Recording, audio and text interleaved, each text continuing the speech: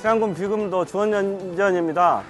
비금도는 목포에서 100길로 2시간 이상 떨어진 청정 해안 지역에 있는 우리나라 최고의 소금 산지입니다.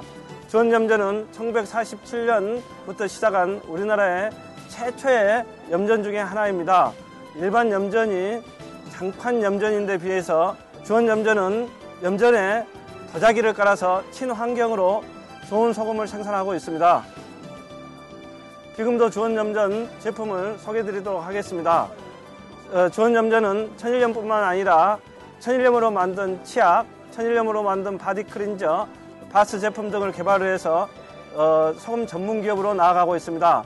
특히 천일염의 경우는 신세계 백화점, 롯데 백화점에서 최명품으로 선정돼서 판매를 하고 있습니다.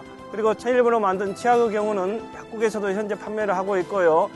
어, 치과 병원에서도 잇몸 질환에 가장 좋은 제품으로 하고 극찬을 하고 있습니다.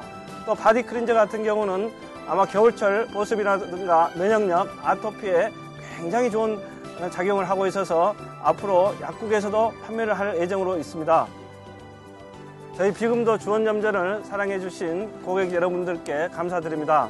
저희 비금도 주원염전은 천일염뿐만 아니라 천일염을 이용한 다양한 제품들을 개발을 해서 앞으로 우리나라 제품을 세계화하려고 노력하고 있습니다. 식품 안전과 환경 안전을 최우선을 가치로 해서 앞으로도 좋은 천일염을 생산을 해서 여러분들께 보급하도록 노력하겠습니다. 감사합니다.